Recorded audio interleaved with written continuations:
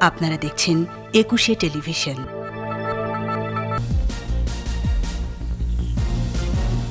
পনেরো খাতে তাক লাগানো অর্জন, বছরে ছয় শতাংশ হারে উৎপাদনশীলতা বাড়াতে চায় সরকার। রোহিঙ্গা নেতা মহিবুল্লাহ হত্যা মামলায় আরও দুইজন আটক।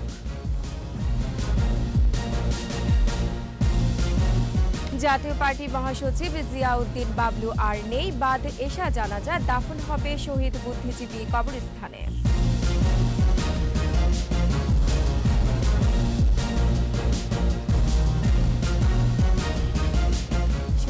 First security Islami bank limited সংবাদ শিরোনাম।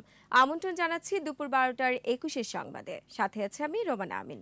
একুশে টেলিভিশনের সংবাদ, একই সাথে সরাসরি দেখতে পাবেন আমাদের Facebook page W W W dot Facebook dot com slash Ekushey twenty four অনলাইনে বাড়ছে শিল্প উৎপাদন, কৃষিতেও সাফল্য অনেক।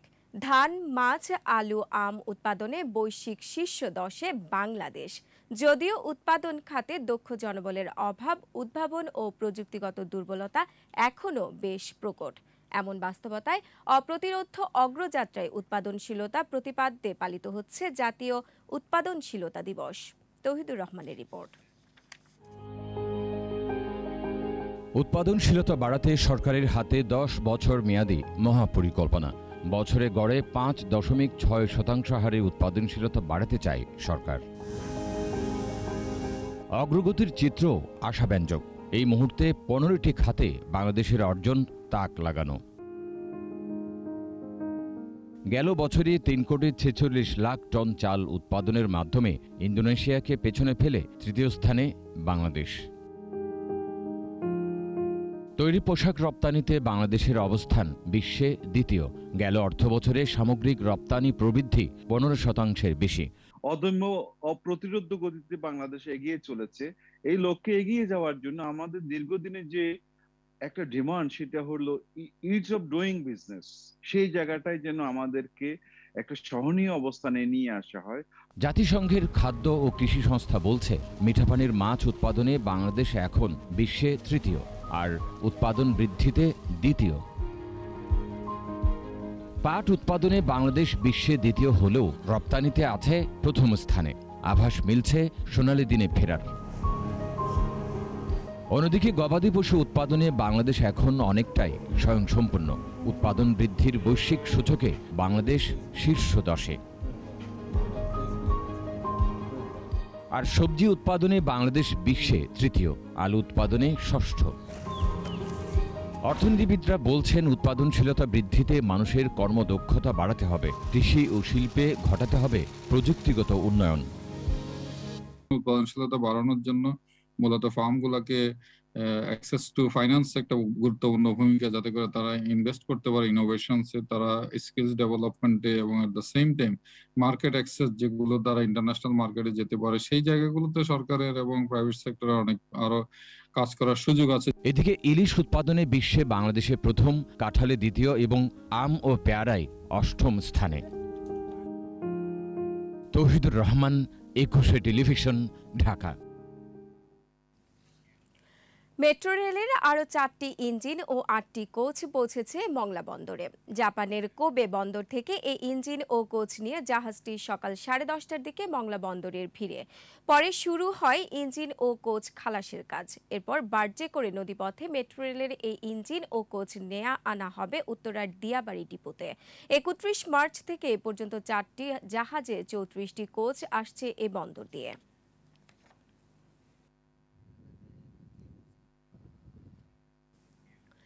কক্সবাজারের উখিয়ার রোহিঙ্গা নেতা মহিবুল্লাহ হত্যা মামলায় জিয়াউর রহমান ও আব্দুল সালাম নামে আরও দুই রোহিঙ্গাকে আটক করেছে এপিভিএন মধ্যরাতে আর্মড পুলিশ ব্যাটালিয়নের একটি টিম উখিয়া কুতিপালং রোহিঙ্গা ক্যাম্পে অভিযান চালিয়ে তাদের আটক করে। ক্যাম্প নিরাপত্তার দায়িত্বে থাকা এপিভিএন এর পুলিশ সুপার নাইমুল হক বিষয়টি নিশ্চিত করেন। এর আগে শুক্রবার দুপুরে মোহাম্মদ সেলিম প্রকাশ ওরফে লম্বা সেলিমকে আটক করেছিল এপিভিএন এ নিয়ে মহিবুল্লাহ হত্যা মামলায় তিনজনকে আটক করা হলো।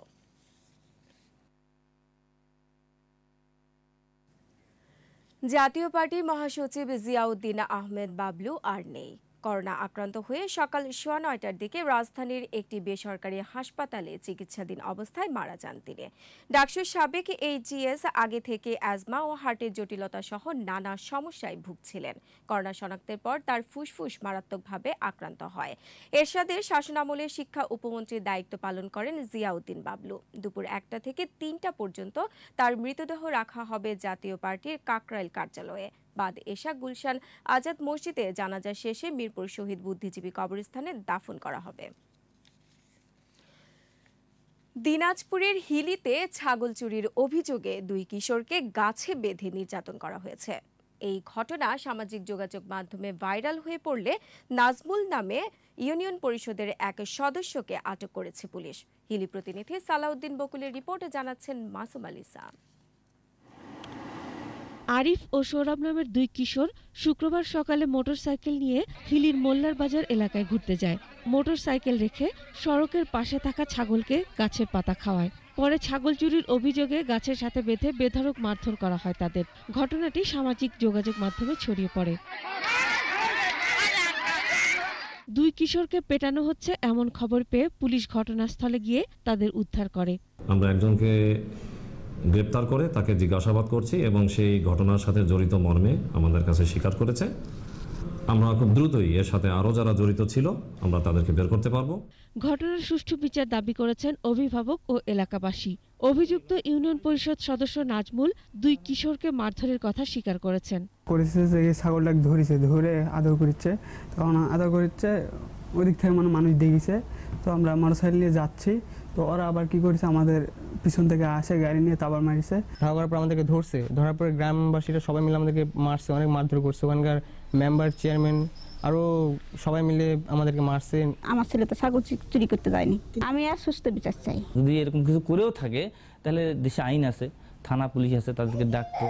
তারা এই আইন অনুযায়ী একটা ব্যবস্থা নিত। ছাগল চুরি করতে পারে না কিংবা হচ্ছে আমরা ছোট থেকেই দেখিচ্ছি। আমি এই জন্য মারছি ওরা চোর। আমি নিজেও দাবড়াইছি মোটরসাইকেল নিয়ে। আর খাসি ধরা পড়ছে। আপনারা যদি জানতে চান যেখানে ঘটনা, আপনারা সেখানেও জানতে পারবেন। এ ঘটনায় ছয় জনের নাম উল্লেখ করে দশ জনের বিরুদ্ধে মামলা হয়েছে। মাসুম আলিসা একুশে টেলিভিশন। পঞ্চাশ বছরেও আধুনিকতার ছোঁয়া লাগেনি চট্টগ্রামের আগ্রাবাদে অবস্থিত দেশের একমাত্র জাতিতাত্ত্বিক জাদুঘরটিতে। জরাজীর্ণ হয়ে পড়েছে জাদুঘরটি। খসে পড়ছে ছাদের পলেস্টার। যে কোনো মুহূর্তে ঘটতে পারে দুর্ঘটনা। বিপ্লব মজুমদারের ক্যামেরায় চট্টগ্রাম থেকে রিপোর্ট করছেন হাসান ফেরদৌস।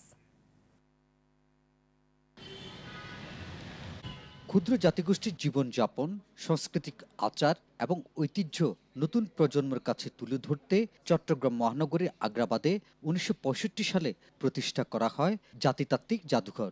দর্শনার্থীদের জন্য খুলে দেওয়া হয় উনিশশো চুয়াত্তর সালে। আমাদের যে সকল ক্ষুদ্র নৃগোষ্ঠীগুলো বিদ্যমান রয়েছে, চাকমা, মোরং, মণিপুরী, হাজং, খাসিয়া, প্রত্যেকটি জাতিগোষ্ঠীর, প্রত্যেকটি নৃগোষ্ঠীর ব্যবহার্য বিভিন্ন উপাদানগুলোর সমন্বয়ে এই জাদুঘরটা তৈরি করা হয়েছে এবং এই জাদুঘরে এলে বিভিন্ন নৃগোষ্ঠী সম্পর্কে আমরা ধারণা লাভ করতে পারি। মজার বিষয় হচ্ছে যে আজকের এই যে জাতিতাত্ত্বিক জাদুঘর, এটা আয়তনের দিক থেকে আপনার পৃথিবীর দ্বিতীয় স্থানে অবস্থান করছে। তবে সংস্কারের অভাবে জরাজীর্ণ হয়ে পড়েছে জাদুঘর ভবনটি। খসে পড়ছে ছাদের পালেস্তরা। দেয়াল চুয়ে পানি পড়ায় নষ্ট হচ্ছে দুর্লভ বিভিন্ন নিদর্শন। কর্মকর্তারাও বলছেন, জাদুঘর ভবনের সংস্কার জরুরি হয়ে পড়েছে।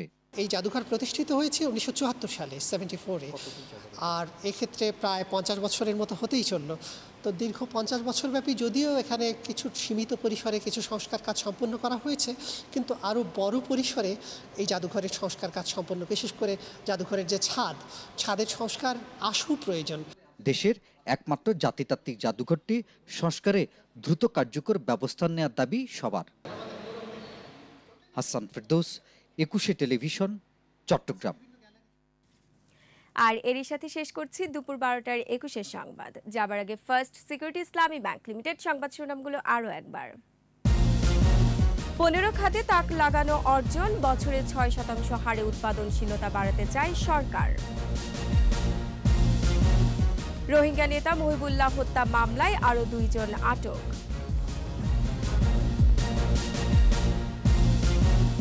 জাতীয় পার্টি মহাসচিব জিয়াউদ্দিন বাবলু আর নেই। বাদ এশা জানাজা দাফন হবে শহীদ বুদ্ধিজীবী কবরস্থানে।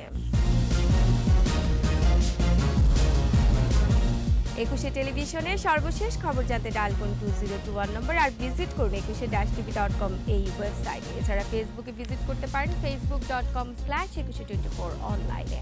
এতক্ষণ সাথে থাকার জন্য ধন্যবাদ। পরবর্তী সংবাদ দুপুর দুইটায় দেখার আমন্ত্রণ রইল। স্বাস্থ্যবিধি মেনে চলুন, সুস্থ থাকুন। একুশের সাথেই থাকুন।